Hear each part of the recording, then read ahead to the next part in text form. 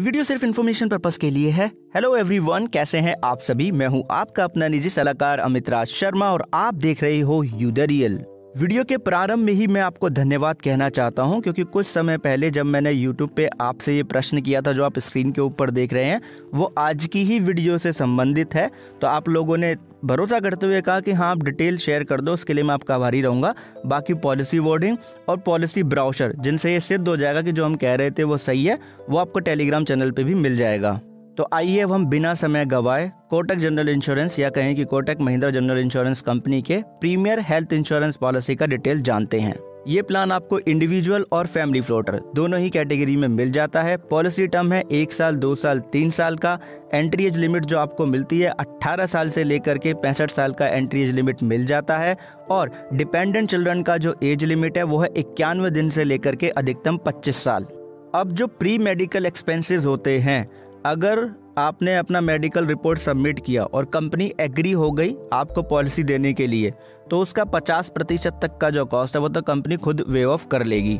और आप लोग जानते हो कि आजकल जैसे 45 साल की एज पे ये चीज़ मांगती है कंपनी मेडिकल चेकअप रिपोर्ट वगैरह राइट या हायर समर शॉर्ट के लिए जाए तो भी मांगती है। प्लान में आपको तीन वेरिएंट मिलते हैं राइट बेनिफिट की बात करें तो डे केयर प्रोसीजर जिसे आप डे केयर ट्रीटमेंट बोलते हो 405 है, वो आपको अंडर द कवर है, जो इस प्लान में आपको लिस्टेड मिल जाते हैं राइट इसी के साथ में सेकंड ओपिनियन सेकंड ओपिनियन की ज़रूरत पड़ती है। जब कोई क्रिटिकल इलनेस हमें हो जाए या कोई मेजर इंजरी हो जाए तो एक साल में पर पॉलिसी पर जो इंश्योर्ड व्यक्ति जो होगा पर पॉलिसी ईयर में एक राइट जो इंटरेक्शन होगी सर्जन के साथ में स्पेशलिस्ट के साथ में, उसको सेकंड ओपिनियन बोलेंगे, वो अंडर द कवर आपको मिल जाएगा।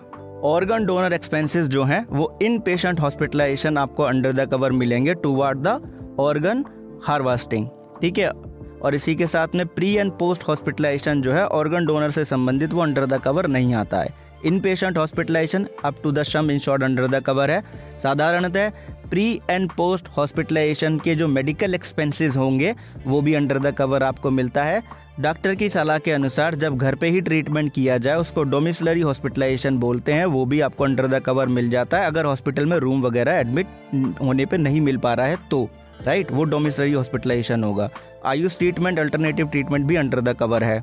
आयुष ट्रीटमेंट को ही हम अल्टरनेटिव ट्रीटमेंट बोलते हैं। ऑटो रिचार्ज का बेनिफिट भी मिल जाता है, जिसे आप समर शॉर्ट का ऑटो रिस्टोरेशन भी बोलते हैं। जब बेसिक सम इन शॉर्ट खत्म हो जाता है, तब ये बेनिफिट इनफोर्स होता है। अगर कोई एटलीस्ट दस दिन के लिए हॉस्पिटल में एडमिट है तो ऐसे में एक एक लमसम कैश अमाउंट यहाँ पे मिलता है कंपनी की तरफ़ से, उसे कॉन्विलेंसिस बेनिफिट बोलते हैं। और जब लंबे समय तक हॉस्पिटल में एडमिट होते हैं डिस्चार्ज होते हैं तो उसके बाद में नर्सिंग की हमें ज़रूरत पड़ सकती है नर्सिंग फैसिलिटीज़ की।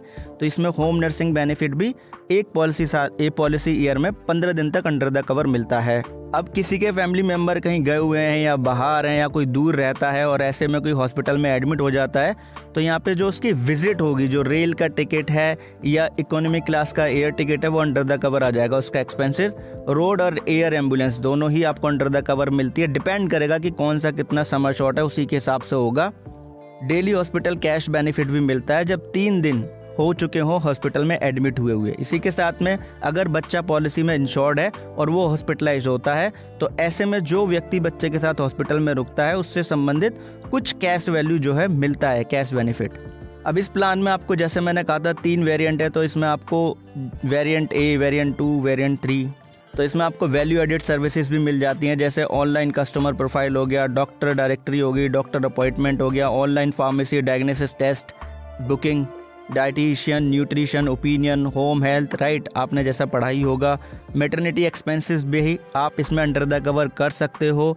दो डिलीवरी ही अंडर द कवर आएँगी, उसके साथ न्यूबॉर्न बेबी और जो मेटर्निटी एक्सपेंसेस जो आप लिमिट लोगे, उसी के अनुसार न्यूबॉर्न बेबी भी अंडर द कवर आएगा और उसका वन ईयर का वैक्सीनेशन में एक लिमिट होता है, वो भी अंडर द कवर आएगा। 18 क्रिटिकल इलनेस जो है, उनको आप अंडर द कवर कर सकते हो। रूम रेंट पे इसमें आपको कैपिंग देखने के लिए मिलेगी, जिसके बारे में हमें पॉलिसी वर्डिंग में पता लगता है। पर्सनल एक्सीडेंट कवर भी आप इसमें ले सकते हो, जिसमें एक्सीडेंटल डेथ और total permanent disability under the cover आती है। एनुअल हेल्थ चेकअप मतलब सालाना जो पॉलिसी आप रिन्यू कराएँगे क्लेम हो या ना हो, फ़र्क नहीं पड़ता। आपको एनुअल हेल्थ चेकअप मिल जाएँगे। बशर्ते उम्र 18 साल की होनी चाहिए। चेकअप जो है लिस्टेड हैं, वो आप देख ही रहे हैं सीबीसी हो गया एम e है, सीरम कोलेस्ट्रॉल है, सीरम क्रेटीन है S G P T S G O T E C G random blood sugar ये सभी टेस्टेज आपको अंडर द कवर मिल जाएँगे। इन नेटवर्क हॉस्पिटल जो होंगे, वहाँ पे वेटिंग पीरियड की बात करें तो 30 दिन का है फ़र्स्ट हॉस्पिटलाइजेशन पे waiting period pre specified illness पे 24 महीने का वेटिंग पीरियड आपको मिलता है। बाकी आपको पता ही है कि जोन वाइज आजकल कोपी भी हमें देखने के लिए मिलता है। जोन टू में कोई रहता है और जोन वन में जाएगा ट्रीटमेंट कराने तो 10 प्रतिशत का कोपे है। जोन थ्री में कोई रहता है जोन वन में जाएगा तो 20 प्रतिशत का कोपे है। और जोन थ्री में कोई रहता है जोन टू में जाकर ट्रीटमेंट कराएगा तो दस प्रतिशत का कोपे यहाँ पे लगेगा। बाकी आपको जो मेटर्निटी एक्सपेंसेस हैं, उस पर भी आपको 36 महीने का वेटिंग पीरियड देखने के लिए मिलता है। प्री एग्जैक्टिंग डिज़ीज़ पे वेटिंग पीरियड तो है। कितना है ये पॉलिसी वर्डिंग में क्लियर हमें पढ़ने के लिए नहीं मिला। आपने इस प्लान के बारे में इन्फॉर्मेशन भी मांगी थी, फिर जब मैंने आपसे पूछा तो आपने अपना भरोसा भी दिखाया, उसके लिए मैं आपका आभारी रहूँगा। एक चीज़ खुद भी समझे, दूसरों को भी समझाएँ कि इंश्योरेंस एक प्रोटेक्शन है और प्रोटेक्शन कभी अधूरी नहीं लेते। बहुत बहुत धन्यवाद बहुत बहुत